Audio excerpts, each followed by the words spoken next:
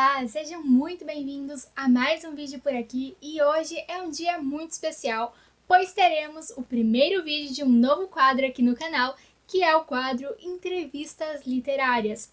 E para iniciarmos esse quadro, eu tive a honra de convidar a escritora Miriam Scott, que vai falar conosco diretamente de Manaus. Uma escritora incrível que eu conheci no final do ano passado, por meio do livro Terra Úmida. Uma história impactante, muito bem construída e que também é aí o vencedor do Prêmio Literário Cidade de Manaus 2020 na categoria Melhor Romance Regional. Terra Úmida vai retratar a história de uma família que vem do Marrocos para o Brasil. Então nós vamos ter ali um choque de culturas, vamos ter questão da identificação ou não dessas pessoas com o local para qual elas vêm, que inclusive é Manaus. Vamos ter ali várias reflexões sobre o papel da mulher na sociedade, sobre a maternidade. Vamos ter uma família ali e todos os seus embates do dia a dia, todo esse conflito de gerações também. E essa família é formada pela Simi, a mãe, o Judá, o pai e os seus dois filhos, Abner e Isaac. E nós vamos acompanhar então a história deles por meio da voz de Abner. E esse nosso narrador, ele vai se lembrando das histórias da família dele, de como eles vieram, de como eles eram, de como eles se comportavam, de quais foram os acontecimentos mais marcantes da sua vida e também dos seus. Mas além de fazer perguntas sobre esse livro, também conversaremos sobre como é a vida de um escritor, sobre como foi o processo de construção desse livro, qual é a rotina da Miriam, como foi construir uma personagem feminina tão forte que é a Simi, a relação dela com a maternidade, como é então para uma escritora mulher escrever ali um personagem homem como narrador? Quais dicas a Miriam daria para os escritores que estão começando agora? Ela que já tem mais experiência, já tem outros textos publicados, contos, crônicas, e aqui dentro desse livro também temos ali alguns poemas. Então vamos ouvir agora tudo que a Miriam tem a nos dizer. E se você já gostou desse tema de trazermos entrevistas para o canal, não se esqueça de curtir o vídeo e de se inscrever. E agora, vamos lá! Então vamos dar início com a nossa entrevista com a autora Miriam Scott. Desde já agradeço pela participação dela, por ter aceitado estar aqui no canal novamente, né? Porque ela já esteve aqui de outra maneira, com a resenha que eu fiz do livro Terra Úmida dela. Então hoje nós vamos poder conhecer um pouco mais o livro e também conhecer um pouco mais da Miriam, um pouco mais do processo de escrita. Eu sei que muitos dos espectadores daqui, dos leitores que acompanham o canal, eles têm interesse, alguns têm vontade de ser escritores, então eu acho que vai ser uma conversa bem legal para todos. Então, vamos começar com a nossa primeira pergunta. Eu já gostaria de iniciar com uma pergunta que eu vejo que é feita com muita frequência para os escritores, que é uma curiosidade que eu acho que eu tenho como leitora, então talvez os outros leitores aí tenham, que é a seguinte: como que se constrói um autor? Então, você parou para pensar em algum determinado momento da sua vida, você acordou e disse: Nossa, eu levo jeito para isso, eu tenho talento nisso. Ou foi algo que foi se construindo aos poucos, sabe? Ou de repente alguma coisa que você soube que sempre esteve com você, esse talento, essa paixão pela escrita. Bom, primeiro, obrigada pelo convite.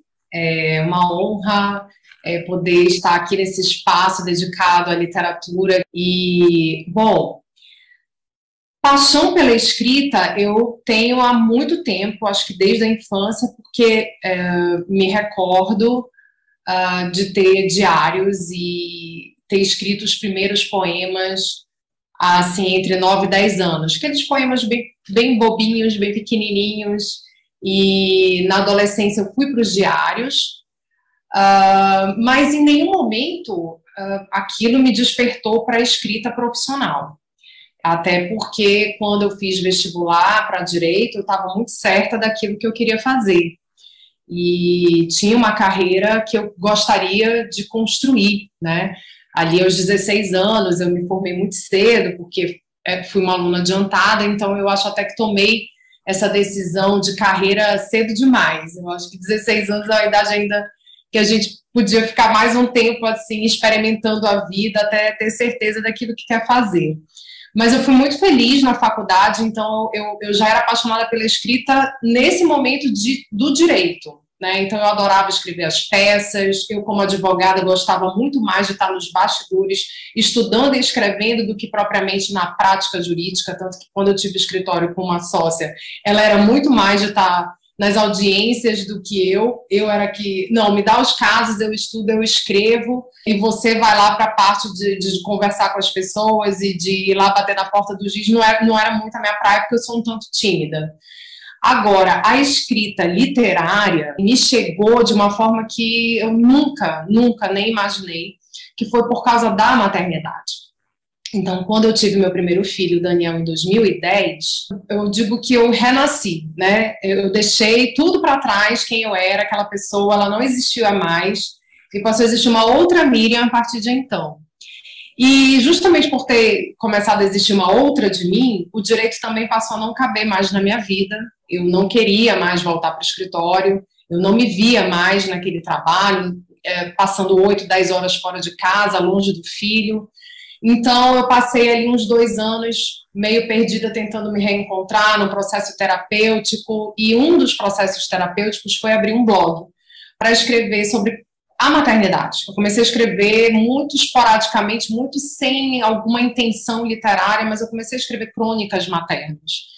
Eu me desabafava, usava ali como um escape mesmo de tudo aquilo, daquele turbilhão de emoções que me consumia diariamente, né? Então eu estava muito mergulhada naquele momento materno, então é, eu acho que o blog ele foi maravilhoso, eu fiz amizades incríveis com quem falo até hoje, e aquilo sim me despertou para a literatura, porque é, esse blog depois virou um livro, um livro de crônicas, e em seguida eu comecei a escrever histórias infantis completamente baseadas nas minhas experiências com o meu, meu primogênito. E aí foi quando eu entendi que a escrita não ia mais sair de mim. E aí eu fui atrás das oficinas literárias de escrita. Aí eu me joguei mesmo no negócio e, e quis me profissionalizar. Ah, que interessante! Isso é muito legal, porque o teu livro, Terra Úmida, ele traz muito essa questão da maternidade, né? Já vamos conversar sobre ela. E em relação a esse processo de escrita, você já levou dois anos pensando, de forma geral, né? Não necessariamente desse livro, trabalhando com um blog, mas no momento que você pensou, não, eu vou escrever um livro realmente agora, é, não vou mais ficar apenas no blog, apesar de que um blog dá muito trabalho, vou muito trazer trabalho. muito, vou trazer para o papel também, digamos assim. Como que era essa rotina de escritora? Um debate por trás disso, porque há algumas pessoas que falam que a escrita vem em momentos de inspiração, outras pessoas que falam que é trabalho duro todo dia. Então eu queria saber como que é essa tua rotina. Todo dia tinha horário de escrever ou você escrevia quando estava com vontade? Bom, quando eu ainda não, não tinha me auto-intitulado escritora, que a gente até demora para usar esse, essa denominação, porque a gente acha um pouco vaidoso demais, né? Então, assim, o início ele é sempre muito difícil porque é, quando trabalhar, é como começar. Então, como a minha escrita na questão do blog era ainda muito no sentido de obedecer às minhas emoções, então saía conforme eu sentia, não havia uma obrigação. Na escrita dos livros infantis, o processo foi muito parecido, porque a partir do momento que surgia aquela aquela situação entre mim e o Daniel e a história surgia, uh, eu montava aquela história, digamos, sem uma rotina muito endurecida, porque eu também ainda não tinha essa questão do, da, da profissão escritor, ainda estava muito imatura para mim. Agora, o que me norteou e me fez entender a escrita como um trabalho, como uma profissão, foi a partir do momento que eu comecei a fazer as oficinas de escrita criativa.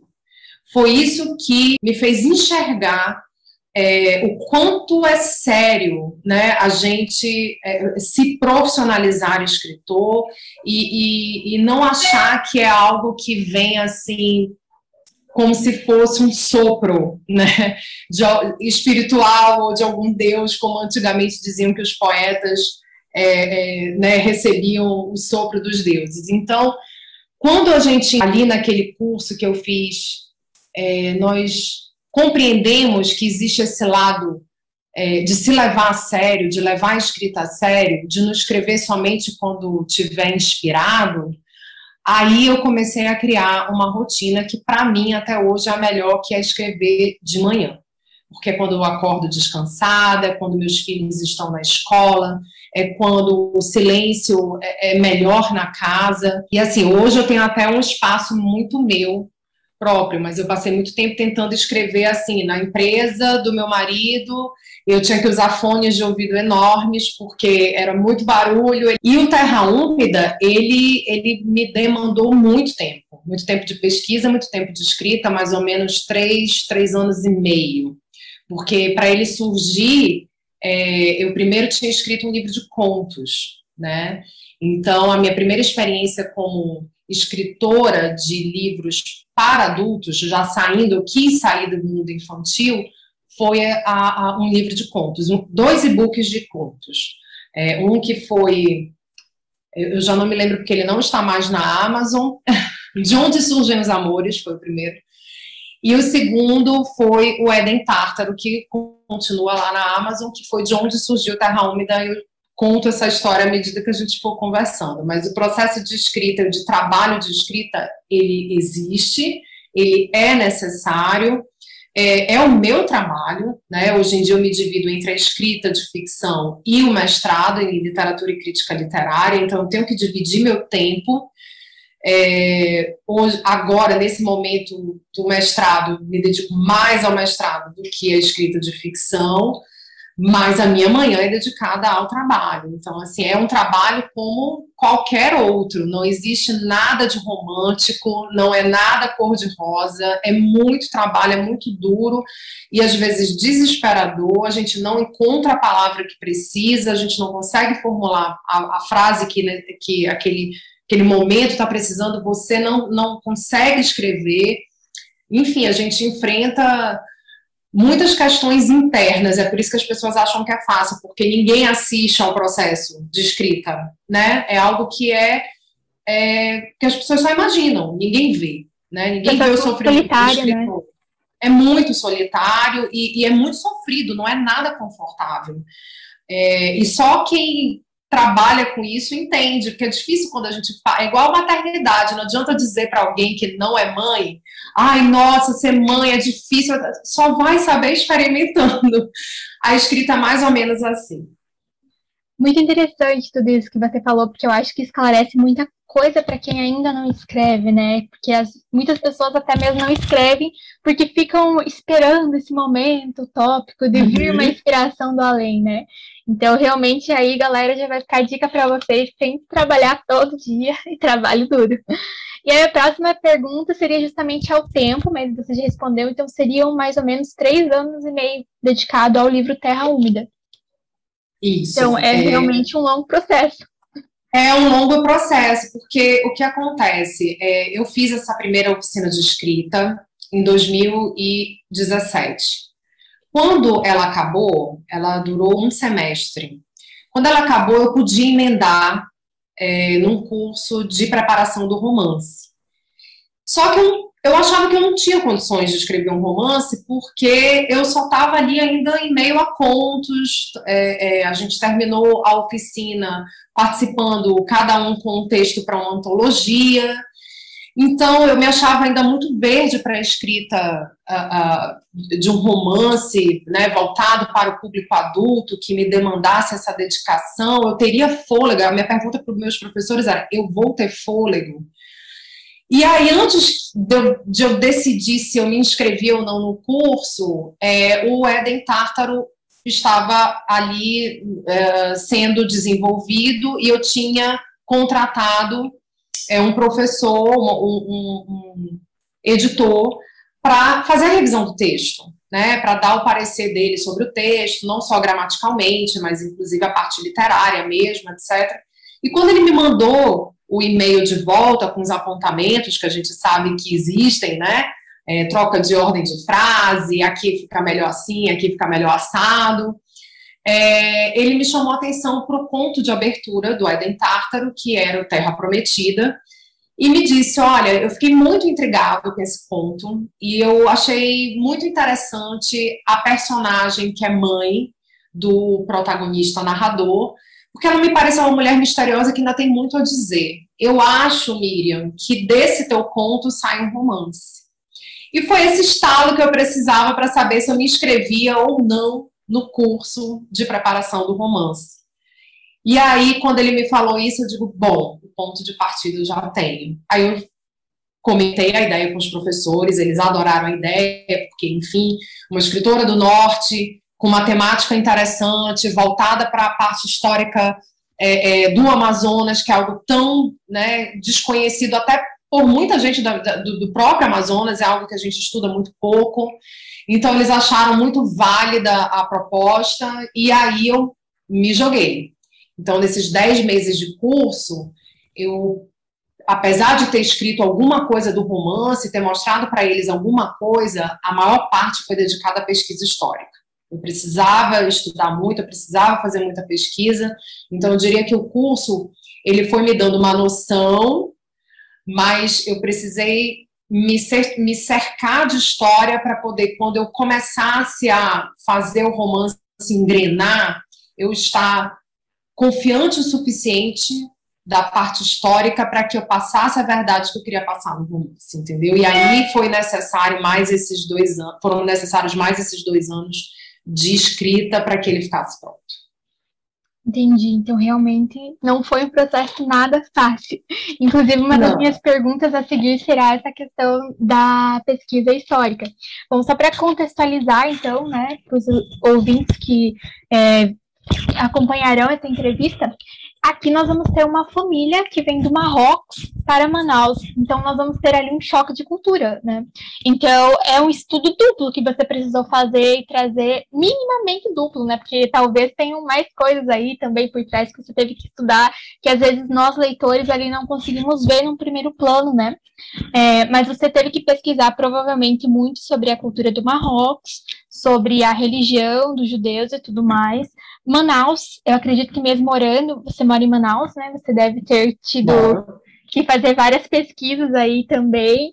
A própria relação com a Amazônia, que nós vemos todo aquele encanto que o Judá ele vai ter quando ele vai começar a trabalhar navegando pelos rios, a questão da descrição do cenário, até mesmo daquela parte da cidade que estava começando a se construir, né, nas memórias do Abner que nós vemos. Então, eu queria que você falasse um pouco desse processo de pesquisa do livro. Quando a gente é, se arrisca a escrever um romance histórico, a gente tem que uh, ter essa, essa noção de que o estudo ele é imprescindível, a pesquisa histórica ela é imprescindível. Como eu sempre gostei muito de história, para mim, apesar de trabalhoso, foi também muito prazeroso. Não foi um sacrifício, porque eu sempre gostei muito de estudar história, era uma das minhas matérias preferidas na escola. É, a minha família materna é judia, o meu bisavô veio do Marrocos. Então, eu cresci ouvindo né, muito sobre a Amazônia do início do século, é, aquelas mulheres todas, a minha família materna é muito matriarcal, então todas aquelas mulheres que me rondavam, eu escutava as histórias, e aquilo me, mexia muito comigo. E uma das primeiras pesquisas que eu fiz foi atrás dos livros do professor Samuel Benchimol, que é um, foi um grande judeu aqui para todos nós do Amazonas e para a Amazônia, um grande estudioso, e que escreveu livros imprescindíveis sobre os marroquinos, sobre a Amazônia, sobre esse período da borracha. Então, eu li pelo menos uns três livros dele. Eu comecei por aí. Depois, eu fui atrás de artigos científicos dos estudantes né, da UFAM, que é a Universidade Federal do Amazonas. Depois, eu fui em busca da Universidade Federal do Pará. Depois eu fui para blogs históricos que falam sobre a Manaus antiga. Pesquisei fotos, muitas fotos, para saber como era essa parte que eu descrevia do Teatro Amazonas na sua construção.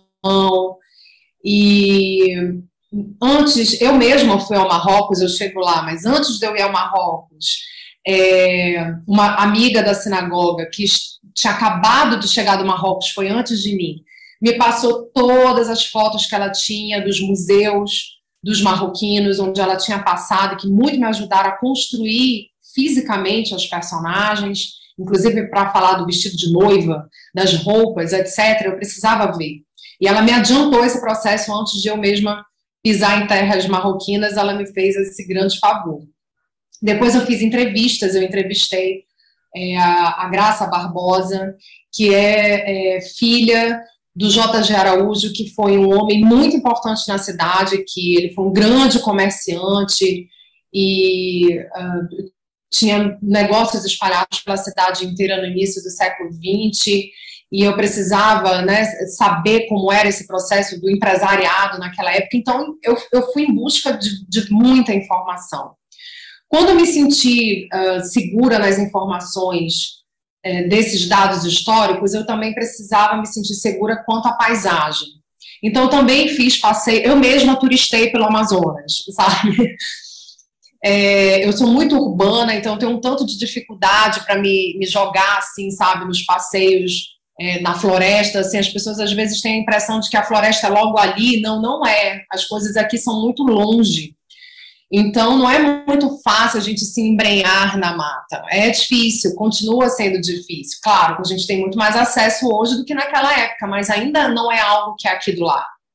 Então, eu fiz passeios, né? É, eu fui até o museu do, da, da, do ciclo da borracha que nós temos aqui próximo, assim, um próximo leva um tempinho, mais ou menos umas duas horas, e que foi também muito importante. Eu, eu, eu uh, tive uma guia maravilhosa que sabia tudo sobre a história, e eu saí fotografando e tenho vídeos de todo esse passeio para eu saber como acontecia é, é, é, o corte da, da seringueira, como é que, como é que eles faziam para se tornar borracha, todo aquele vapor que deixava, acabava deixando as pessoas muito doentes, porque respirava aquela borracha o dia inteiro, né? Então, como, eram, como era a vida daqueles seringueiros, muitos que vieram do Nordeste e não sabiam, não tinham a menor ideia do, do inferno verde, literalmente, que os esperava, é, a convivência com os mosquitos, né, que, que transmitiam febre amarela, malária, é, a, a, o mal, os maus tratos sofridos eram quase que escravizados pelos donos dos seringais, eram jogados no meio da mata, sem absolutamente nenhuma condição de, de, de boa vida, se afastar, eram afastados obrigatoriamente da família, iam só homens praticamente, e a, tinha a promessa de que um dia iam ver a família, muitos nunca voltaram. Então é uma história que assim é muito densa, é, é muito triste e, e, foi muito importante para mim é, rever esses fatos com essa profundidade que na época da escola a gente não tem acesso. A gente tem uma passagem ali, né, muito branda do que foi essa época, mas eu realmente mergulhei na história e foi muito importante para mim é, saber mais a fundo sobre esse período que é, só foi bom para quem tinha muito dinheiro, porque para quem não tinha foi um caos, né?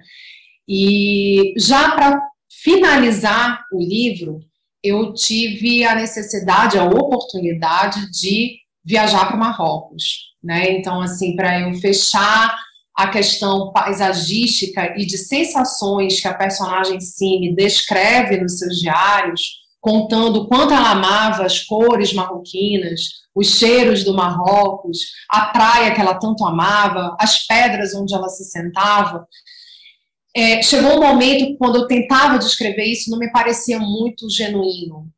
E aí nós tínhamos uma viagem marcada que não tinha absolutamente nada a ver com Marrocos, mas eu consegui encaixar, mudei o roteiro e para poder inclusive fazer do mesmo jeito que os marroquinos fizeram para chegar aqui. Então eu atravessei a Espanha de ferryboat e voltei por esse ferryboat para poder eu queria ver a mesma paisagem da África que eles estavam se afastando. Então, eu não quis chegar de avião, não quis chegar de outro jeito, eu quis chegar de navio como eles saíram, né? Que era o jeito que os, que, o, que os marroquinos saíam para vir, para se jogar aqui na Amazônia, era sair do Marrocos, chegar geralmente ou na Espanha, mas mais até para por Portugal, pegar esse navio, ou Itália também, é, e até chegar no Brasil. Né? Paravam lá no Pará, porque não chegavam direto no Amazonas. Então, é, eu tentei vivenciar o mais próximo possível com óbvio, quase impossível viver tão próximo, porque um século me separa de tudo isso, mas eu tentei é, experimentar o mais próximo possível dessas vivências para que o livro passasse essa verdade que eu acho que eu consegui passar, sabe, na história, na escrita, tanto na voz do Abner, que é o primeiro narrador que aparece, quanto na voz da Cine, que é a protagonista dos diários, né? Então, foi mais ou menos isso que aconteceu. Sim, eu concordo, você conseguiu passar muito bem. Eu acho que nós conseguimos ali realmente imaginar toda aquela cena diante da Cime quando ela está na praia, é, aquele momento de tristeza que ela tem, mas que de alguma forma ela se alegra por estar naquele espaço. Então, de fato, é um espaço muito rico, não apenas pela beleza do espaço, mas eu acredito que pelas memórias que ela consegue evocar desse espaço, pelas memórias que ela construiu lá. E da mesma forma, nós vemos ali uma desidentificação dela com, a, a, com o Brasil, com essa nova cultura. Só que, por outro lado, nós conseguimos ver também é, a identificação que o Judá tem, né? Então, você teve que construir ao mesmo tempo uma desidentificação do espaço e uma identificação do espaço. Então, realmente, ali nós temos um duplo ponto de vista muito interessante. E agora que você já falou um pouco para gente de como foi esse processo aí de pesquisa histórica, de pesquisa é, cultural, dessas referências que você trouxe também da religião, a tua própria visita ao Marrocos, eu queria que você falasse um pouco da construção de uma personagem que para mim foi a personagem que mais me marcou durante a história. Eu sou daquelas leitoras que entra na história mesmo, então eu odeio algum personagem, eu amo outro, então eu fico com raiva, eu assim me emociono. E essa personagem foi a que mais me tocou, eu acredito que talvez seja a que mais toque as mulheres de forma geral, porque ela traz muito dessa nossa vivência. Não vou dar spoilers, mas nós começamos o livro meio que com ódio dessa personagem, por que, ela é assim? e depois nós vamos entendendo esse lado dela e gostando muito dela. Pelo menos comigo foi assim. E eu vejo nessa personagem, na Simi, é, toda essa questão de o que a sociedade espera da mulher, o que a sociedade espera da maternidade, o quanto essa história da mulher é dura com ela, porque ela já nasce com um destino, de certa forma, pré-determinado. Hoje, é claro, nós temos essa liberdade, mas no tempo em que a história se passa, não havia isso, né? Hoje ainda as coisas são um pouco restritas, então nós podemos imaginar como era naquela época. Eu queria que você comentasse um pouco da representatividade que é essa personagem, tanto para nós mulheres quanto também para as mães. Eu não sou mãe, mas eu imagino ali pela essa dor que ela passa, por as vivências que ela traz, né? Toda essa questão. Então, eu queria que você falasse um pouco sobre a Cine. Olha, a Cine, ela foi uma construção longa, porque no, no, no conto, ela foi muito pouco explorada. Então, eu sabia que ela me daria muito trabalho. Eu sabia que para é, eu conseguir dar o tom que eu queria à personagem, é, eu ia ter que, quando escrevesse, principalmente a parte do diário, que é ela quem conta, eu ia me tornar um pouco cime naquela hora, né? Eu ia me vestir de cime para poder tentar é, explorar ao máximo é, as emoções todas que eu queria é, transparecer uh, para os leitores. Eu tenho recebido muita é, gente assim inclusive homens, que foi uma das coisas que me surpreendeu bastante, emocionados com a Cine. Porque é, é, eu, sempre digo que a, a, a eu acho que o grande papel da literatura é essa possibilidade da gente experimentar o lugar do outro sem sair do nosso, né? Então é uma oportunidade que a gente tem de experimentar outras vidas, outras vivências, é, outros destinos e ainda, depois que fechar a última página do livro, permanecer na nossa própria bolha. Então, assim, é, por isso que eu acho que a, a literatura deveria ser tão difundida e deveria ser algo tão obrigatório na vida de todo mundo, porque é, eu acho que é um belo jeito da gente praticar a alteridade. Então, muitos homens vieram até mim dizer, eu não, não entendia é, as queixas de uma mulher até eu ler a Cine. O diário dela, por ser algo que era um confessionário, acabou por poder dizer para as pessoas o que, é que se passa muitas vezes na cabeça das mulheres, por mais difícil que seja. Então, eu lembro que é, eu tive dificuldade para achar como seria a voz narrativa desses personagens. Então, o, o Terra Úmida ele teve várias versões antes da oficial, mas eu entendi que assim me precisava ser em formato de diário. Por quê? Porque é, eu queria que a gente entrasse, o leitor entrasse na cabeça da Cine. Não tem outro jeito, né? É, eu não queria que fosse um narrador distanciado. Tinha que ser ela, né? E tinha que ser ela sem, sem vergonha, né? Sem medo porque a gente não consegue dizer para as pessoas tudo que se passa dentro da gente, tudo que a gente pensa, porque às vezes os nossos pensamentos são horrorosos. E a gente tem vergonha do que a gente pensa, porque as pessoas possivelmente vão nos censurar. Então, como, qual seria a forma da gente ler a Cine sem censura? Tinha que ser através dos diários. Então, eu consegui encontrar esse tom para ela deixar o Abner em primeira pessoa para poder construir essa mulher de um jeito, porque como ele na Terra Úmida veio do conto, no conto não havia os diários. Ela era essa mulher amarga, né, sem dar muito spoiler, mas ela era essa mulher amarga do início do Terra Úmida que a gente fica chateado, com raiva mesmo. E, e, e, querendo entender por que aquela mulher é tão amarga. Teoricamente, a vida dela era perfeita. Teoricamente, ela não tinha razão para ser amarga né?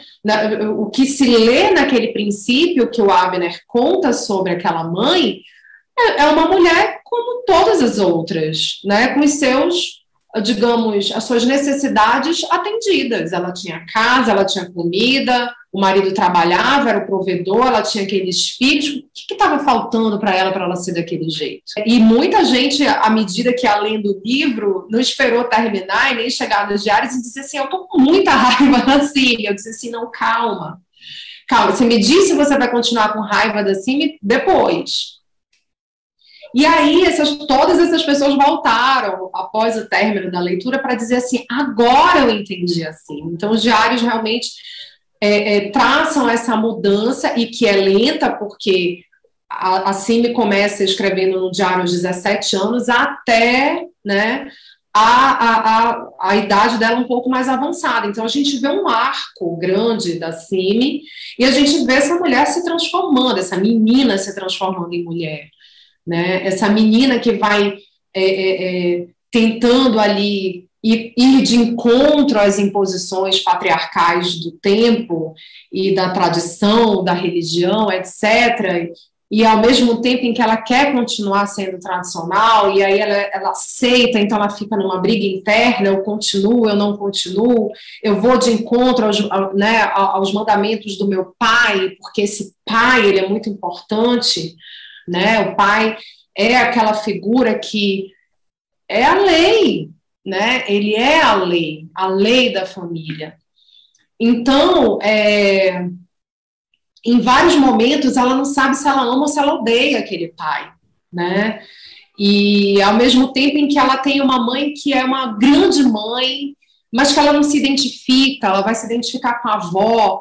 Então, assim, são. É, à medida que eu fui escrevendo, é, eu fui tentando não deixá-la uh, linear, porque ninguém é, né? A Cine, da mesma forma que os diários, ela, ela, é, ela é em partes. Ela, eu, eu achei interessante quando uma leitora é, é, me disse ela é tão fragmentada quanto os diários que ela escreve. E é isso, né? Ela é tão fragmentada quanto os diários e ela vai e volta muitas vezes, né? Então, é, a Cine, para que ela fosse alguém representativa e não ficasse anacrônica, porque afinal de contas é uma mulher que começa no, ano, no século XIX, 1800, né, até 1910. Teoricamente, ela não conversaria conosco. Teoricamente, a gente não ia conseguir se identificar. Mas aí, É, bom, em meio a tanta pesquisa minha mesmo, hoje, para o mestrado, etc., eu vejo que a questão feminina continua a mesma. É óbvio que houve um avanço, houve. A gente tem ainda cimes por aí, certamente. Acho que alguns países isso ainda é, é, é comum, né? Isso é o que ainda acontece. Mas para que houvesse essa identificação com essa mulher nossa, brasileira, a gente sabe o quanto a gente avançou, mas a gente sabe o quanto ainda falta avançar. E que hoje, quando eu estou no meu grupo de amigas, já casadas e mães, quando eu me vejo, eu me vejo fazendo e ouvindo as mesmas reclamações da CIMI de 1890, de 1910. A gente ainda é muito parecido com aquelas famílias né? Ainda existe algo muito enraizado dentro de nós que precisa mudar. Nós mesmas, mulheres, precisamos ainda mudar para que essa mudança seja geral, né? Porque ela é cômoda para os homens. Não vamos achar que são os homens que vão liderar essa mudança, porque claro que não. Para eles está tudo bem, né? Nós somos as essas pessoas que precisam liderar essa mudança para que ela seja possível para todos, inclusive beneficie os próprios homens, porque também tira uma carga deles. Né? Que o que se almeja, né, o, que, o que se grita hoje o tempo inteiro é pela paridade, é pela igualdade, não é, não é a briga, né? Não é a briga. Então, é, acaba que é impossível a gente não se identificar com a síndrome não tem como alguém que tem filhos não se identificar com as queixas que a Cine tinha, né? A falta de ajuda, a sobrecarga mental, a sobrecarga física, né? É, as obrigações de, é, mesmo cansada, ainda satisfazer o marido, são, são as mesmas coisas que se ouve das mulheres de hoje, né? Então, assim, a, não, não tem como não se identificar. É, eu acho que eu, que eu fui construindo a Cine dos diálogos que eu passei minha vida inteira escutando das mulheres da minha família, das mulheres à minha volta, das mulheres com quem trabalhei, das mulheres que me ajudaram com os meus filhos, que ajudaram na minha casa, que ajudaram na casa da minha mãe. Eu fiz um mergulho na minha memória. Quais eram as queixas? Que essas mulheres todas tinham, independentemente da classe social? As mesmas. Algumas, óbvio, quanto mais baixa a classe social, mais difícil é, sem a menor dúvida, mas a base da, da, da, da questão acabava a mesma, né? A gente queria a igualdade e a gente se sentia sobrecarregada. Então, Acho que é por isso que a Cine, apesar de ser uma mulher do século XIX, ela ainda é muito atual. Né? Então, acho que isso mexeu muito com as leitoras. Assim, eu tenho recebido muito feedback mesmo, isso me deixa muito contente dessa representatividade, dizer assim, a Cine representa as mulheres de hoje ainda. Né? Eu não sei se eu celebro ou se eu digo sinto muito, né? mas eu prefiro celebrar no sentido que seja para acordar, né? Que seja para despertar e para criar essa vontade, essa reflexão em todas nós e em todos nós. Até mesmo as mulheres às vezes não se dão conta de onde vem esse cansaço, de por que, que ela não está feliz com essa maternidade, se é algo, entre aspas, natural, né? Então é algo que não é questionado, será mesmo que eu quero ser mãe ou não? Ali no caso da Sim, nós vemos que no início ela não queria, isso foi posto para ela, né? E é muito interessante essa questão de como você consegue, a partir de um olhar individual, porque nós acompanhamos a história da Cine, trazer essa questão que é coletiva, que vai, de certa forma, abranger é, a maioria das mulheres, não todas, como você mencionou, que tem é, recebido vários relatos. E é muito interessante porque, às vezes, nós, mulheres, vemos outras mulheres apenas como essa primeira parte da Cine a gente não chega a, mesmo sendo mulheres, entender essa parte do diário, digamos assim. Por que, que a Sim é daquele jeito? Por que, que ela tem essa amargura? Será que essa amargura que algumas pessoas têm é por acaso? E ali no caso da Sim, nós vemos que não é.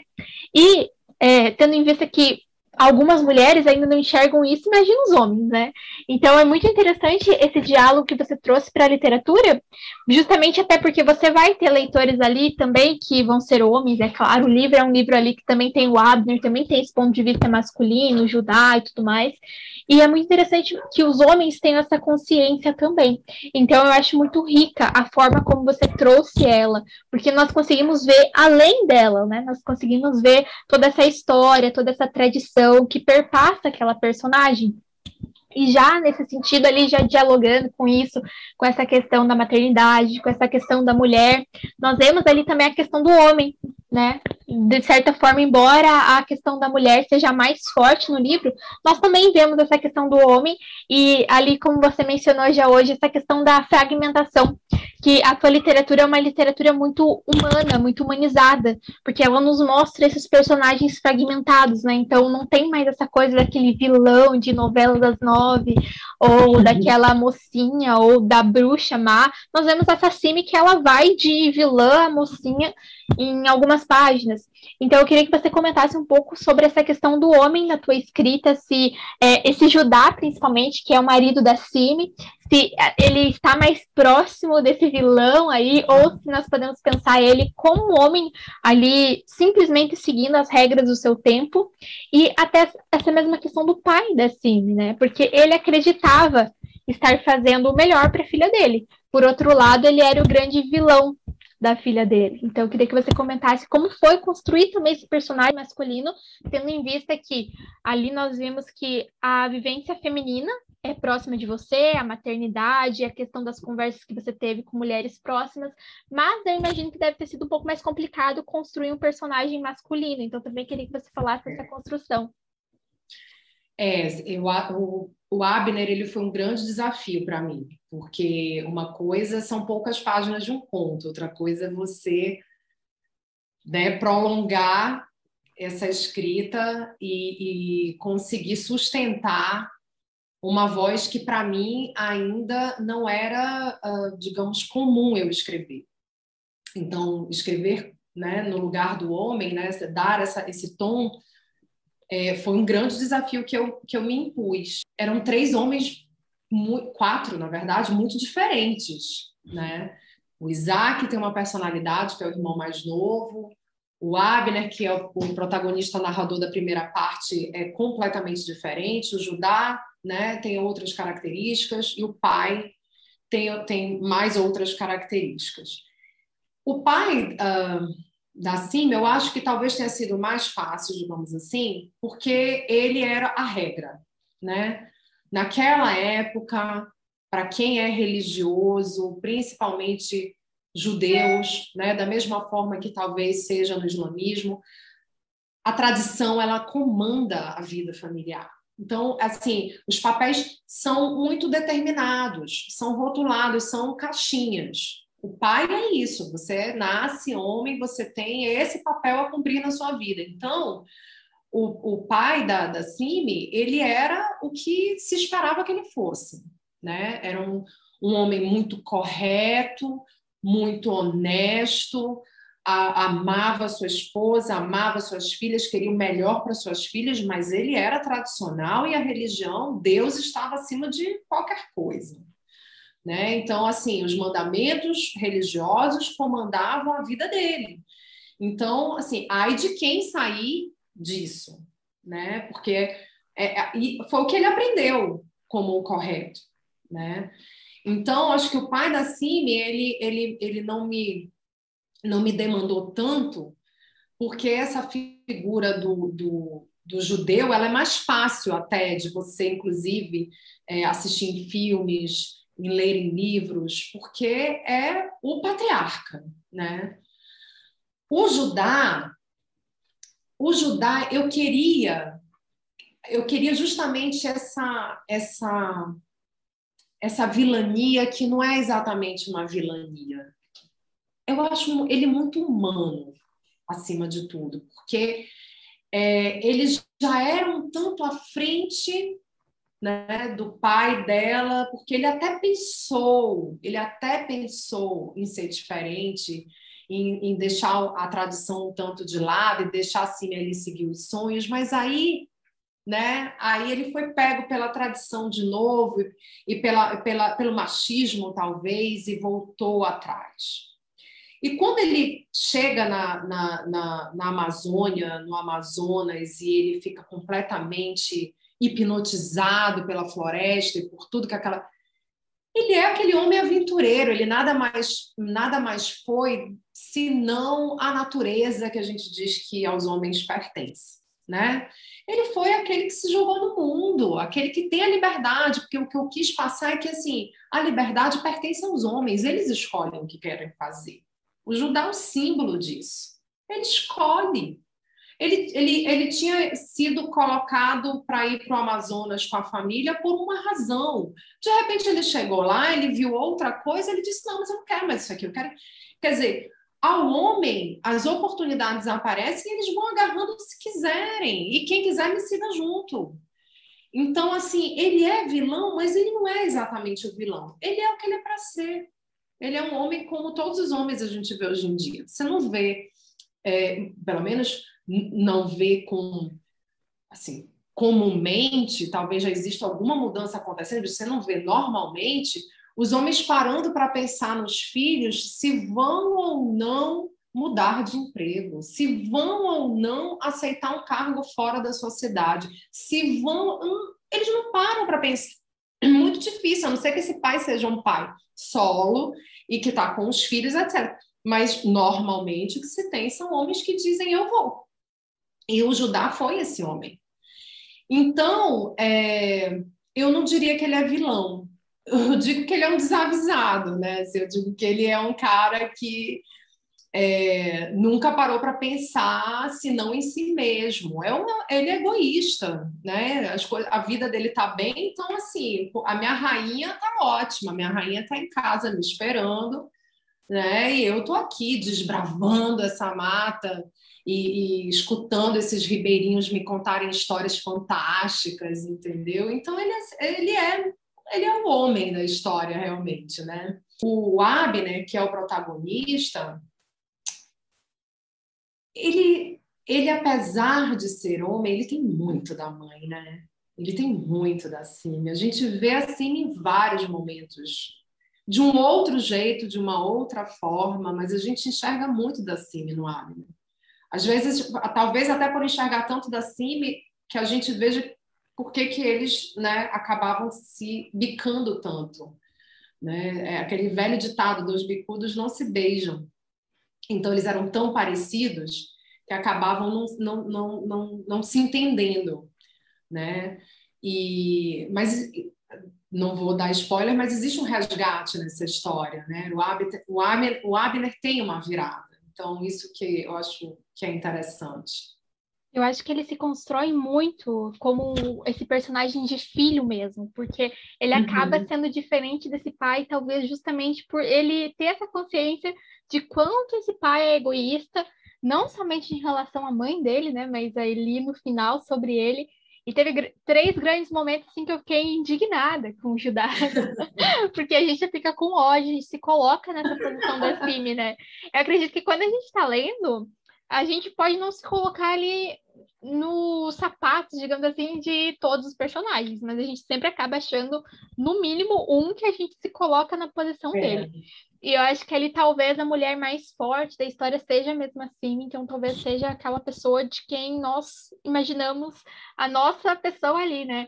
Então, logo no início da história, nós temos ali esse Judá que diz para ela que, não, tudo bem, talvez eu possa esperar você ir estudar para ser professora e depois a gente se casa. E daí você já começa a gostar desse Judá, né?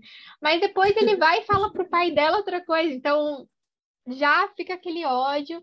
E depois também na chegada deles é, no Brasil, ele tinha prometido que ia trabalhar com aquele familiar e tudo mais, tinha prometido uma vida para ela, né? Então ela acredita nele e mais uma vez ele vai e muda.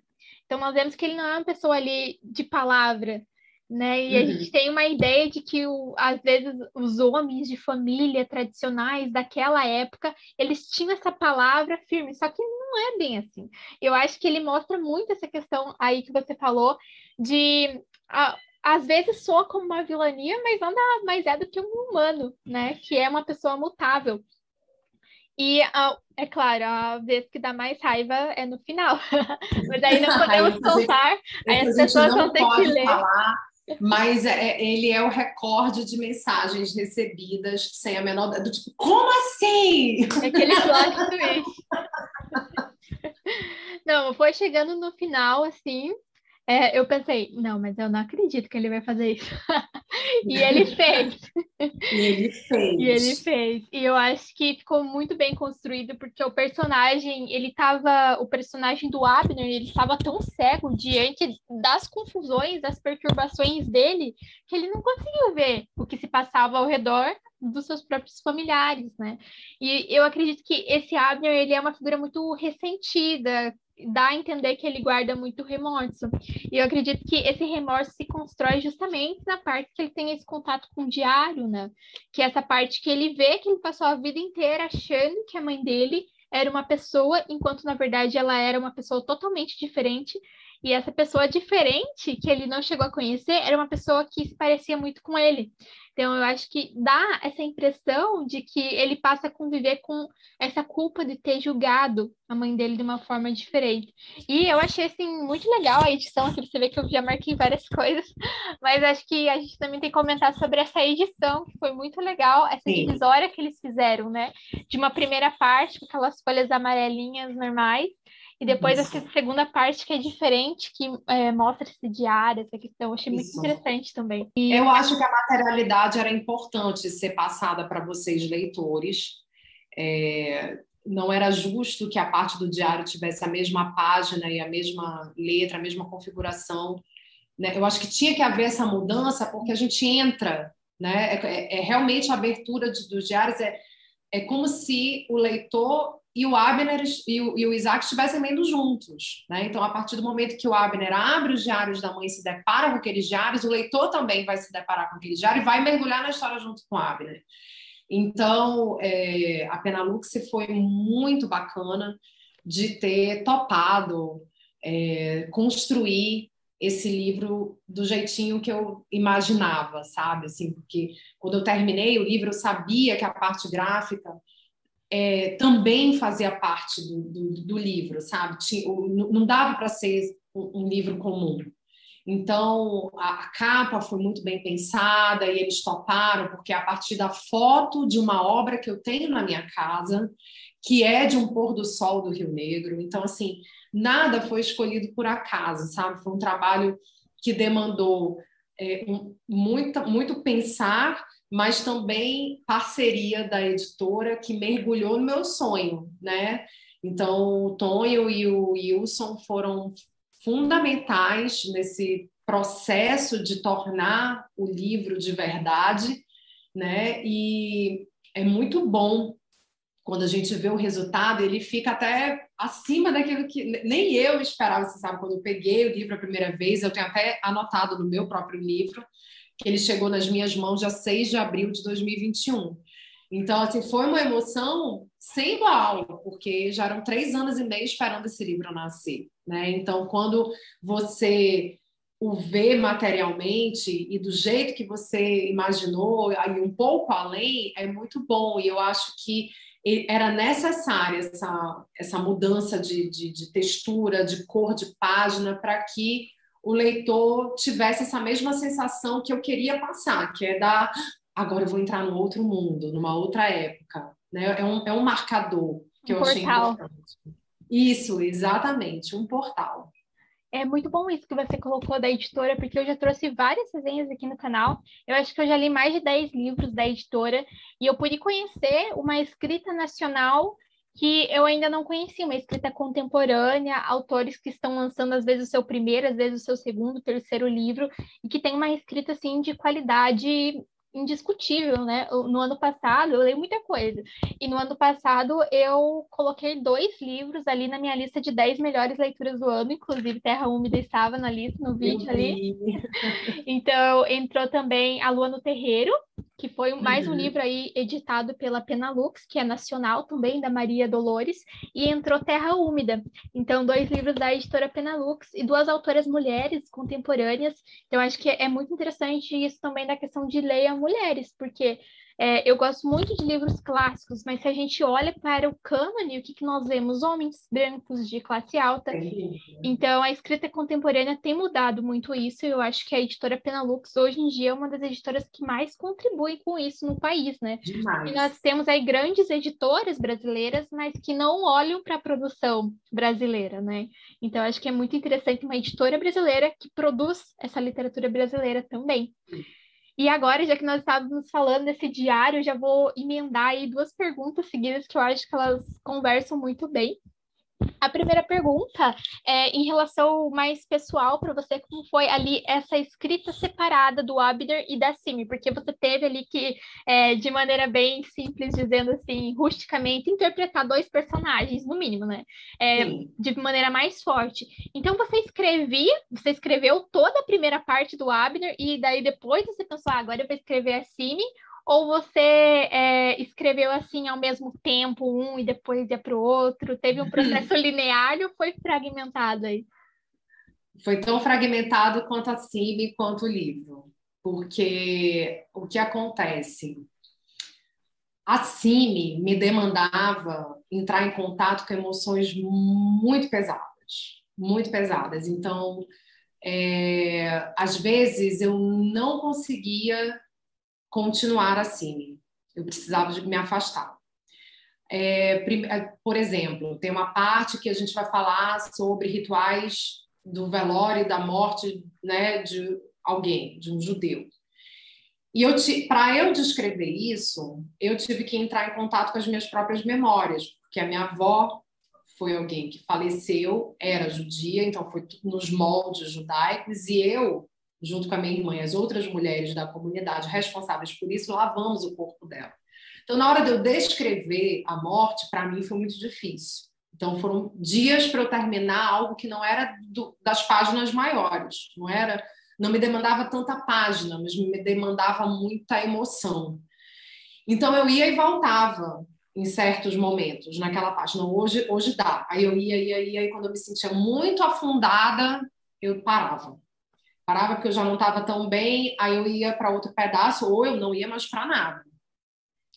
Quando eu tinha que escrever a Cine, já nos diários, sendo ela mesma, já ainda nova, etc., e com aquela confusão de maternidade, de sentimentos, se ama, se odeia, para mim foi muito difícil porque eu também já era mãe de dois. E era muito difícil eu me, digamos, me, me carregar de sentimentos pesados e negativos para descrever aquilo. Às vezes eu voltava muito pesada e amarga para minha própria casa. E às vezes eu não conseguia sair do personagem. Então eu digo assim que o meu marido teve que lidar com uma mulher que tinha dias que estava insuportável, provavelmente, porque eu vinha violenta, né? Eu, eu assim, eu dormia assim, sabe? E aí eu tinha que me afastar um pouco para poder me recuperar emocionalmente e aí eu me jogava mais no Abner, que é, apesar de ter é, é, essa, digamos, ter umas sensações mais pesadas, ser uma pessoa que está ali refletindo sobre a vida, etc., mas eu não me confundia com ele, entendeu? Eu me mantinha afastada. Com a Cima era impossível não me confundir, porque ela é mulher, né? Então, e ela ali estava mãe, né? Experimentando a maternidade. E aí é, eu tomei emprestada certas emoções, emprestadas certas emoções dela até para sair em poemas que foram para ela, porque existem partes do diário que ela não escreve é, normalmente, ela joga aquela página em poema. Né? Foi uma outra forma que ela tentou dizer as coisas, porque eu gosto de dizer que às vezes só a poesia dá conta de certas emoções.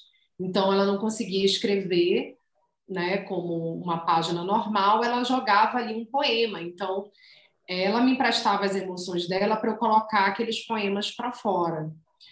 Então, é, não dava para ser linear, eu não conseguia escrever é, muitas páginas dos diários da Cine, por exemplo. Eu conseguia escrever assim, no início, quando ela era muito nova. Aí rendia, rendia bem.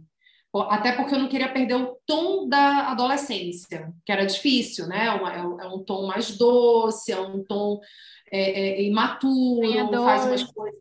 É, uma coisa assim meio boba, né? Então eu não queria perder esse tom, aí eu caminhava. Mas quando ela amadureceu, e que aí eu já me confundia na idade com ela e com as sensações, aí eu tinha, eu ia e voltava, ia e voltava, e aí eu corria para o Abner, e nesse meio tempo escrevi outros livros, porque como eu passei três anos e meio em terra úmida, às vezes eu tinha necessidade de escrever sobre o mundo atual, assim, eu não aguentava mais me preocupar com o vocabulário de 1900, porque uma das dificuldades de você escrever um livro histórico é você não ser anacrônico no vocabulário, é você ficar pensando se aquela palavra, se aquele adjetivo seria usado naquela época. Isso, isso foi muito, muito difícil. Né? Então, assim, eu tinha que esquecer o que eu falo agora, as gírias, etc., para escrever Terra Úmida. Aqui em Manaus a gente usa bastante a segunda pessoa e a minha avó, minha família toda é, sempre usou e muito corretamente, e no, no início do século ainda mais, chegou ao ponto que eu queria escrever o agora, né? Porque eu estava o tempo inteiro muito atenta em relação ao vocabulário para não confundir o que a gente fala hoje de gíria para o que jamais seria falado em 1910.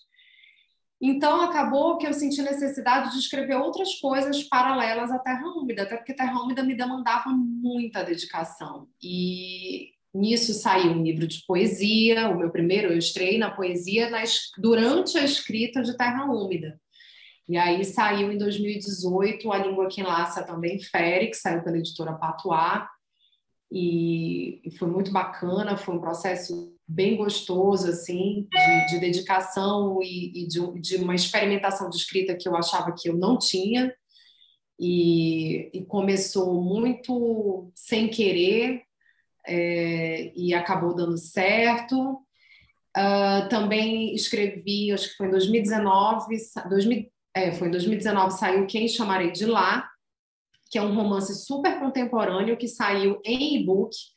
E aí, quando foi no final de 2019, não, final de 2020, porque agora a gente confunde por causa da pandemia, eu fico meio perdida no tempo, mas quando foi em 2020, é, uma editora uh, gostou muito do livro e, ela, e, essa editora só trabalha com o PNLD, que é o Plano Nacional né, dos Livros Didáticos, e queria transformar esse e-book num projeto para o PNLD 2021-2022. E aí eu aceitei, tirei o e-book, ele não, não existe mais, ele não circula mais, e tive a grata surpresa esse ano de que o livro foi aprovado pelo PNLD, então ele estará nas escolas a partir talvez no segundo semestre de 2022 ou início de 2023, mas eu acho que ainda nesse, nesse ano. E é um, um livro que também fala muito sobre a mulher, porque a protagonista é uma menina que faz um, um arco dos 22 aos 30 anos e ela ela, ela conversa muito mais com, com agora né, do que o Terra Úmida. E eu tive que fazer umas adaptações para poder transformá-lo para o ensino médio, então tinham partes um pouco mais acima do tom para a faixa etária. E, mas eu acho que eu queria tanto chegar nas escolas que eu não me importei em mexer no original, é, porque eu acho que chegar nas escolas é algo fantástico. Eu já, eu já tinha feito um trabalho pequeno aqui em Manaus. É aí que começam ter... muitos leitores. Exatamente. Eu comecei aqui colocando um, um, dos meus livros infantis como paradidático de sete, oito escolas, então fiz muita contação, tive bate-papos incríveis com os alunos, participei de mostra de poesia. Então, as escolas sempre tiveram muito presentes na minha vida. Então, quando eu soube do PNLD aprovado, eu fiquei felicíssima e torço que quem chamarei de lá é, seja escolhido aí por, pelas escolas de todo o Brasil, porque ele tem um pouco do Amazonas, um pouco de São Paulo e um pouco do interior do Amazonas e do interior de São Paulo. Então, eu fiz aí quatro ambientes bem interessantes e bem legais.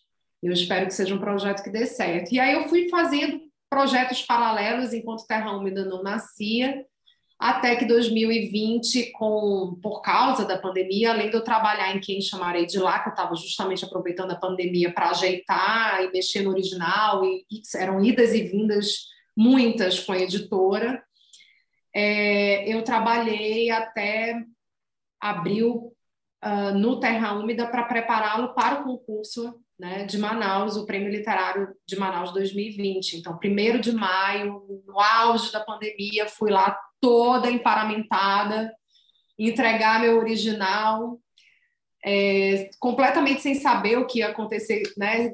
Assim, a, o mundo estava numa incógnita tão grande que sei lá o que aconteceria, mas no dia, acho que foi 26 de outubro, alguma coisa assim, de 2020, eu recebi o resultado de que ele tinha sido o vencedor do prêmio como melhor romance regional. Então, aí eu fiquei felicíssima. É, foram dois trabalhos é, dentro de uma realidade absurda que nós vivemos em 2020, mas isso me tirou é, da loucura. É, o trabalho era tanto que eu conseguia escapar daquela realidade distópica que né, fomos obrigados todos a, a experimentar. E então a literatura uma vez mais me salvou, eu diria, e eu pude me dedicar 2020 a esses dois uh, romances e que tem me trazido muita alegria desde então. Legal, muito interessante essa história. Parabéns pelo livro ter sido aceito nas escolas, porque com certeza as escolas são uma grande entrada para novos leitores. Eu mesma comecei a ler ali com a coleção Vagalume, que era justamente uma coleção direcionada ali aos estudantes das escolas, né? Então acredito que teremos aí muitos leitores e que esse teu livro, como você disse, foi adaptado ali para um público mais jovem, mas provavelmente, se gostarem da sua escrita, com certeza procurarão você aí, tanto pelas redes quanto também outros livros, e chegarão aí ao romance Terra Úmida. Ai, sem dúvida, ao Terra Úmida, é, que eu também pretendo tentá-lo colocar no PNLD futuramente, porque acho que ele é, que é possível, nem que seja para o último ano do ensino médio, exclusivamente para o terceiro ano, eu nem sei se o nome ainda é assim, né? Mas eu acho que a terceira série, eu não sei mais. Eu sei também, já estou fora da Mas no último ano do ensino médio, eu acho que os jovens de 16, 17 anos já estão totalmente aptos a ler em Terra Úmida. Então, vou, vou procurar fazer esse trabalho também com ele. Eu acho que seria muito interessante mesmo, porque eu acredito que hoje em dia muitas jovens meninas, elas não têm essa noção, às vezes, do que a gente tem hoje de oportunidade, de possibilidade em comparação ao que a gente não tinha antes enquanto mulheres, né? Então, muitos jovens hoje não entendem a importância do feminismo, não entendem que muitas Sim. mulheres ali tiveram que sofrer muita coisa para que nós pudéssemos ter os poucos direitos que nós temos hoje, né? Então, realmente é um livro que talvez pudesse ajudar muito as mulheres a ter esse olhar, até mesmo os homens ali, como a gente já comentou. E Indo para as nossas últimas perguntas, ainda tenho duas perguntinhas. Uma delas é mais uma curiosidade assim, minha, enquanto leitora, porque eu também sou da área ali da teoria literária, então, é, assim como você também trabalha ali com essas pesquisas mais, assim, teóricas mesmo. Então, o meu uhum. mestrado também foi na área de literatura. E aí, é, eu penso muito em algo que o Edgar Allan Poe falou, nessa questão de que alguns escritores, eles deixam a história ser construída. Eles começam a escrever uma história e vão escrevendo, deixando ela meio que levar e a história vai se construindo, vai se dando forma. E outros escritores, por sua vez, eles já têm a história assim, começo, meio e fim. Não digo assim detalhadamente, né? Mas assim, eu digo os eventos principais da trama de início, meio e fim. E aí eu fiquei pensando em qual das duas assim visões que você se encaixaria, até porque o teu final foi muito surpreendente. Então, uhum. sobretudo quando eu vejo esses finais ali surpreendentes, me bate essa curiosidade. Será que desde o início ela foi construindo? Não, não já, já entrego que não. O que acontece é assim, é, havia um projeto até para que eu não me perdesse demais, porque às vezes você, durante a escrita, É...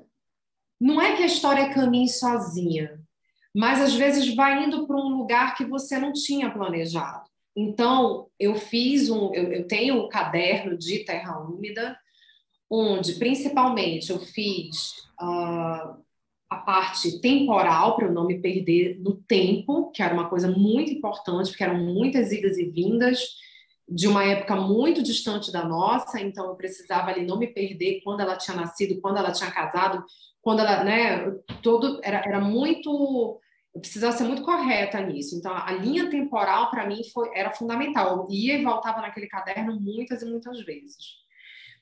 E nesse caderno, mais do que, é, digamos, o começo, meio e fim, eu tinha ali um roteiro de trama. Ah, vai ser sobre uma família de marroquinos que vem para Amazonas, essa parte bem geral zona.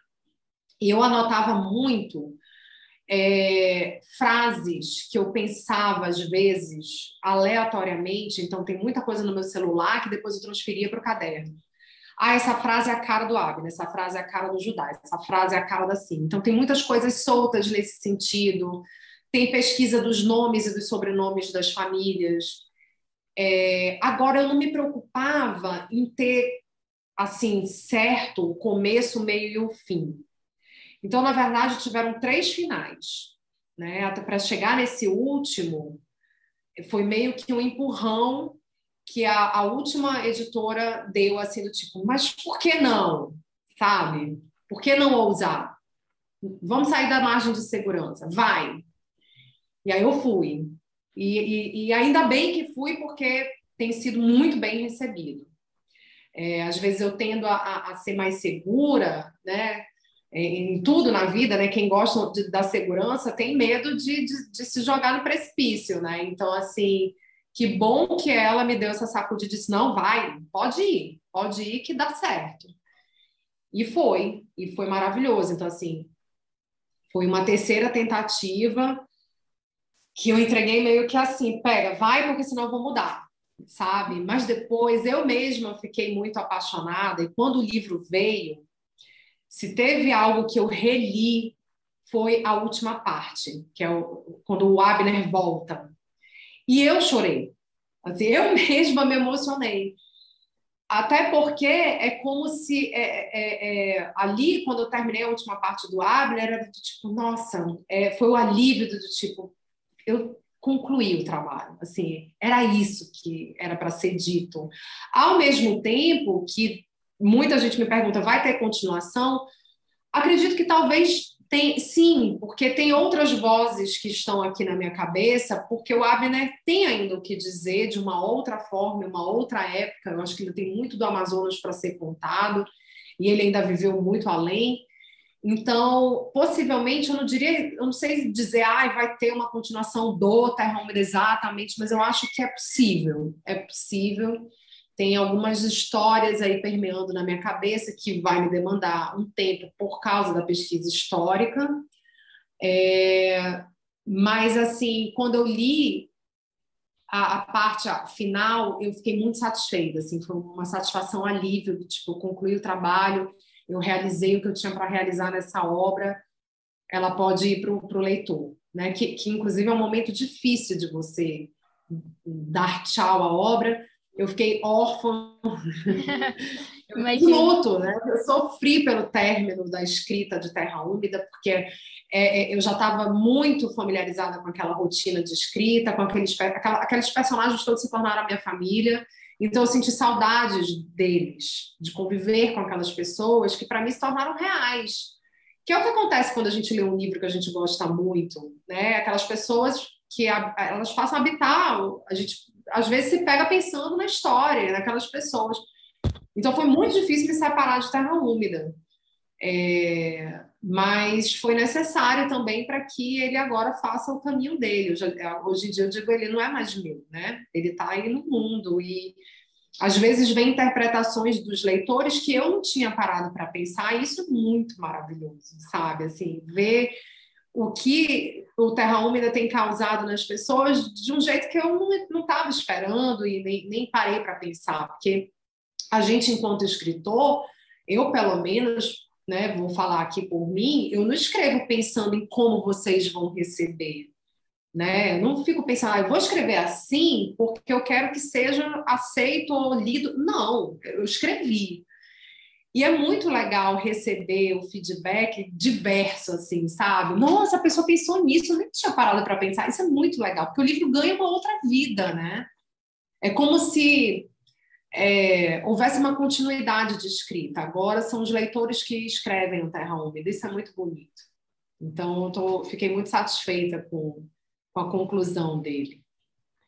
Sim, eu gostei muito desse final, porque é um final daquele que realmente mexe com o leitor, porque faz você odiar um personagem, que faz você ficar morrendo de pena do outro, e você se sente assim desolado com aquele personagem que vê que tudo mudou à sua volta, menos ele, né? E até ali eu pensei nessa questão de que é, ele passou por um trauma que ele imaginou que também seria o trauma do pai dele e do irmão dele, porque era uma pessoa que fazia parte do círculo.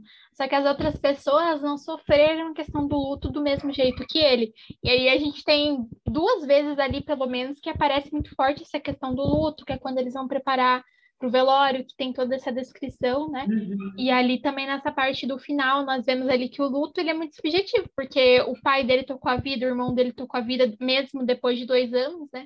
Uhum. É, mas ele ficou empacado nessa história, né? É. Ele fica cada vez é. mais sobrecarregado. Isso é muito humano, né? Essa questão das diferenças de que o que é certo e o que é errado no sentir. Porque o pai ficou acabado, desolado no início. Mas quando deu tempo que ele achou que era suficiente, vida que segue. O irmão também. Ah, teve contato com os diários, soube quem era a mãe de verdade? Tá bom, beleza. Que bom que então ela não era essa pessoa amarga à toa. E vamos seguir a vida. E para o Abner foi completamente diferente o luto. E isso é o que acontece entre a gente. Às vezes a gente né, se, se, se dói porque alguém que está experimentando a mesma perda que a gente não sofre que nem a gente. A gente fica cobrando essa pessoa. Mas Gente, não dá para você achar que as pessoas são iguais a você, sofrem igual a você, pensam como você, vão agir como você. Aliás, uma das melhores coisas que a gente vai aprendendo com o passar do tempo e com muitos anos de terapia que fiz é que a gente é que se magoa e se permite magoar, não é o outro. É verdade. Né? A gente que remói, a gente que torna aquilo algo que vira um rancor dentro da gente. Então, é, é, é preciso respeitar o, jeito de ser de, de cada um. Né? O Abner não era melhor porque sofreu mais. Talvez mais esperto foi o Isaac, o irmão caçula que sofreu o que tinha que sofrer e, e continuou a vida, sabe? Porque nada mais certo na vida do que a morte. A morte faz parte da vida, estão entrelaçadas. Então, assim, só nos resta aceitar, né? Não tem o que fazer, só nos resta aceitar.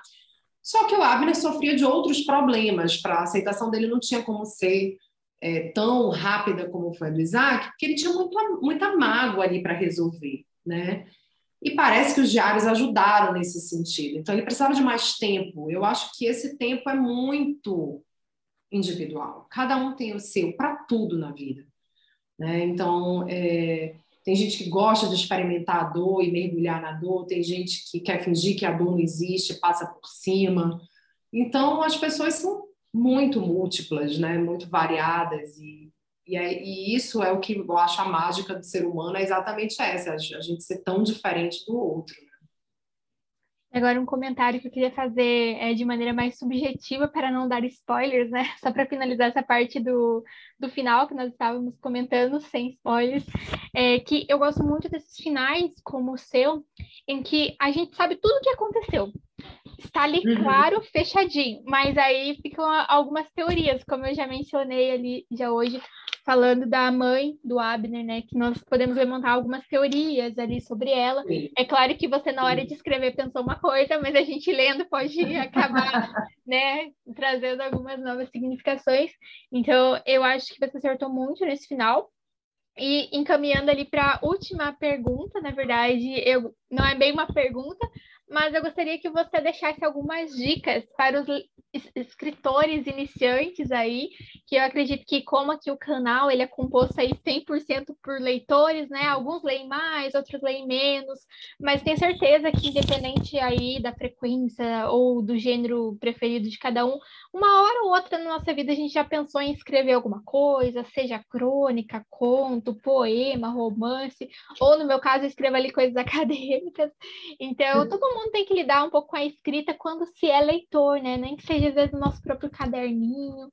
E eu queria que você desse uma dica para essa galera que pensa em publicar, que pensa em se é, profissionalizar com a escrita. O que você diria para a Miriam, que estava começando a escrever aí anos atrás? Olha, é... bom, em primeiro lugar, não existe escritor sem ser antes um excelente leitor. É impossível a gente escrever sem ler.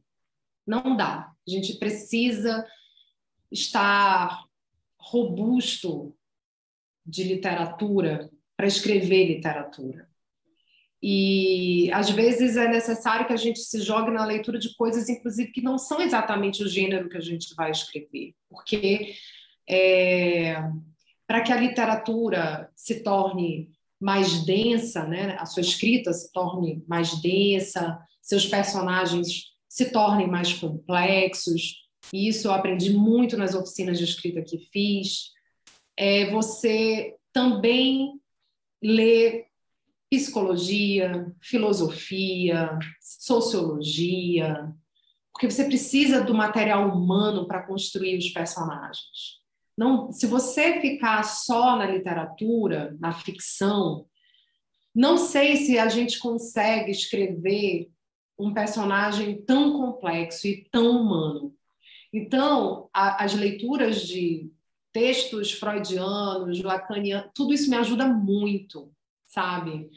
É, e quanto mais leio agora, por causa do mestrado, quanto mais leio teoria, mais criação vai aparecendo na minha cabeça, e era um, era um receio que eu tinha antes de entrar para o mestrado, é de que isso fosse atrapalhar a minha escrita de ficção, e de jeito nenhum. Quanto mais eu me cerco de, de, de teoria, mais eu me sinto capaz de escrever ficção. Então, assim, eu acho que a regra número um para o escritor, do que quer que seja, do poeta, do escritor de crônica, ficção científica, não importa, é ler. Ler. Você pode ficar sem escrever, mas sem ler não dá, é impossível. E eu acho que, para mim, foi muito boa a experiência de participar de oficinas de escrita criativa. Por quê? É... Primeiro, pelo networking que você faz, sabe? Eu acho que é importante você entrar no meio literário para que você comece, comece a fazer seus grupinhos mesmo e que você tenha troca com os seus colegas do seu trabalho, da sua escrita, porque chega um momento que você está trabalhando e que você quer mostrar para alguém. Não adianta você mostrar para sua mãe, para o seu pai. Não dá. Tem que ser para alguém que seja do meio. E se ainda não dá para pagar para alguém profissional, etc., esse, é, é, esse grupo esse grupo literário que a gente forma nas oficinas, ele é muito bom para isso. Eu troco com essas pessoas que se tornaram grandes amigos até hoje. E isso é desde sempre. Se a gente vai ali para a semana de 22, que estamos no meio do centenário da Semana da Arte Moderna, aquele grupo era incrível, gente. Clarice Lispector trocava cartas com Fernando Sabino. Então, assim, não existe o não compartilhar. É impossível. Então, eu acho que hoje uma, um ótimo jeito são as oficinas. São muitas, né? A gente sabe que com a pandemia, inclusive, isso se proliferou enormemente, inclusive na, na parte online, tem de todos os jeitos. E eu acho que você pesquisar uma que seja no formato que é interessante para você, que você pesquise sobre quem são os professores, se são pessoas bacanas, sérias, né, com um know-how aí, com um bom currículo, eu acho que vale muito a pena. Acho que vale muito a pena.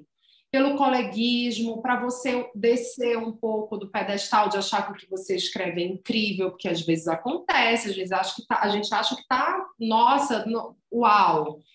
E aí alguém precisa te colocar na real, sabe? Olhar, olha, sinto muito, não tá bom aqui, não tá bom, esse caminho que você está tomando não é legal, acho que você precisa até os apontamentos de leitura.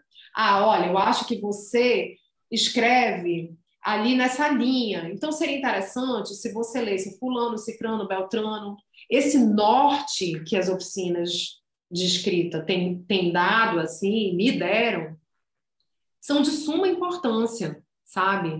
Então acho que são essas duas dicas legais assim que eu tenho para dar, é ler, ler, ler muito, ler muito e ler vários gêneros, não se prender só à ficção e, se puder, frequentar oficinas e começar a fazer as suas pontes literárias, porque isso é muito importante, as portas vão se abrindo aos poucos. E quando se sentir confiante, se jogue nos concursos, para que seu nome comece a rodar nos lugares. Hoje em dia é muita gente escrevendo, é um universo de escritores gigantesco, e um, um dos melhores jeitos de se chegar a ter leitores é por meio de concurso, porque você começa ali, ah, quem é o fulano, quem não é, quem é a cicrano, quem, quem é essa pessoa que está todo mundo falando, que está vencendo vários concursos, que já tem conto publicado sei onde. Quando você se sentir apto na escrita e disser agora eu quero colocar meu nome, vá participando, participe de concursos de contos, de poesia, se você for da poesia, tem concursos de originais, que são excelentes, como o Prêmio Sesc de Literatura, que tem todo ano, tanto na categoria contos quanto na categoria romance, tem que ser estreante, nunca pode ter publicado. Então, assim, tem uma, um, todo um universo que eu acho que quem quer ser profissional da escrita precisa entrar e fazer parte, e abraçar a causa porque senão não acontece, sabe? Não vem do universo. Que legal, muito, muito importante saber disso, né, na, das palavras de escritores, porque eu acredito que são as pessoas que mais podem nos contar como que nós fazemos aí para ser escritores. Então, acho que essas dicas vão ajudar muito. É, essa questão da leitura é uma questão muito presente, mas eu acho que a dica aí que você deu sobre as oficinas pode ser uma novidade para muita gente, então talvez vai ajudar aí a galera a procurar mais também, né? Porque esse, essa conversa de escritores eu acho que também é muito importante, a galera da literatura sabe que a, a, eles trocavam muitas cartas e depois há vários livros com cartas publicados então, os autores de hoje que se conversam entre eles serão os clássicos do futuro, né? Então, Exato. esse trabalho é muito interessante. Isso, para isso existe o WhatsApp também, né? Eu tenho meus grupos de WhatsApp das minhas oficinas que eu converso até hoje, a gente troca muito, é uma delícia. Usar a tecnologia a nosso favor, né? Exatamente. Inclusive hoje, na nossa entrevista. Inclusive hoje, se não fosse a tecnologia, a gente não poderia estar tendo essa conversa, né? Verdade. Bom, Miriam, muito obrigada. Eu acho que todas as perguntas que eu fiz você respondeu de forma muito esclarecedora, é, trouxe ainda mais questões para pensarmos aí no futuro. Acho que poderíamos ficar aí mais algumas horas conversando se eu fosse colocar todas as minhas impressões de leitura, te perguntar as sobre questões. Exatamente, mas agradeço demais, né? Esse nosso novo quadro aqui no canal. Então, você é a nossa primeira entrevistada do quadro de entrevistas literárias. então, agradeço Bom. muito pela sua participação. Ai, obrigada a você. E me sinto honrada, mais ainda agora, sabendo que eu sou a estreante do quadro. Que maravilha! Eu espero que isso traga muita gente para assistir o seu canal e eu espero que eu ajude muitos futuros escritores e leitores com o nosso conteúdo hoje aqui é, comentado, conversado, debatido. E, enfim, que bom que eu deixei tantas coisas boas dentro de você por causa de Terra Úmida e a intenção dessas reflexões que ficaram ainda. Nossa, várias teorias surgiram é, é, essa foi uma das intenções, porque a gente nunca tem certeza do outro. A parte de ter o diário fragmentado, da gente não saber exatamente aquilo que ela queria dizer, de ter páginas em brancos, foi intencional nesse sentido de deixar que os leitores criassem suas próprias teorias mesmo. Eu achei bacana deixar em aberto certas coisas para que as pessoas fossem ficar ruminando mesmo, aquela coisa de terminar o livro e o livro ficar em você e você ficar naquele processo de pensar. Eu acho que foi bem, foi bem para isso, assim, sabe? Foi muito legal, porque não só você, mas as pessoas têm voltado para me dizer isso, tem sido bacana também. E eu acho incrível esse final aí, como eu já comentei, o livro inteiro, né, foi muito pertinente, tanto ali pela questão de nós leitores lermos como entretenimento, mas sobretudo pela reflexão que ele nos traz. Eu acho que é muito interessante uma literatura que ela proporcione ao mesmo tempo entretenimento, que você fica preso, você precisa ler, está gostando, se divertindo e ao mesmo tempo nos traga algum ensinamento, alguma reflexão. Então, eu gosto muito de textos literários que mesclam essas duas é, áreas e o seu, com certeza, conseguir bem nas duas. E agradeço então imensamente pela tua participação. E com certeza eu acredito que o vídeo ele vai é, ser muito útil para dois tipos de leitores, os leitores que ainda vão procurar pela tua obra, que vão conhecer mas também eu acho que vai ser muito legal para quem já leu, né? De repente possa é, trazer mais contribuições aqui nos Sim. comentários e de repente a gente pode ter trazido aí outras reflexões que a pessoa não teve durante a hora da leitura. Então, eu acho que a nossa conversa foi muito frutífera. Muito obrigada. Ai, obrigada também. Foi um prazer enorme participar. É sempre muito bom falar de terra úmida ele me, me traz muita alegria, tem me trazido muita alegria. Espero que ainda tenha um grande percurso para ele aí no ano de 2022. Obrigada.